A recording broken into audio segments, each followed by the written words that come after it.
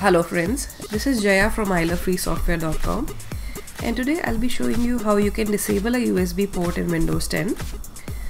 A USB port is something you'll find in every computer nowadays and through these USB ports you can connect a number of peripheral devices to your computer.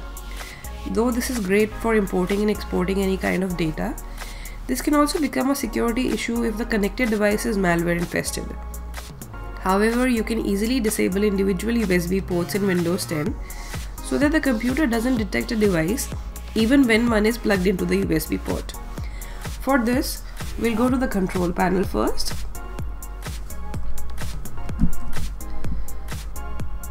Under control panel, we'll go to device manager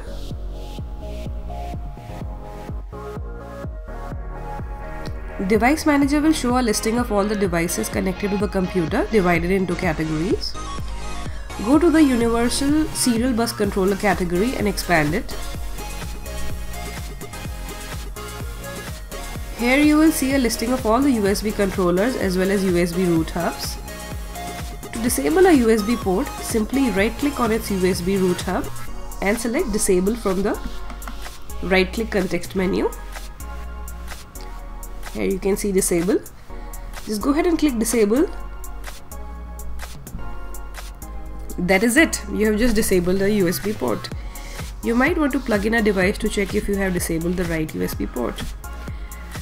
You can use the same method if you want to enable a disabled USB port. Just choose enable in the second step instead of disable. In case you like this video, do hit the like button given below and subscribe to our YouTube channel for more such tips and tricks. Thank you.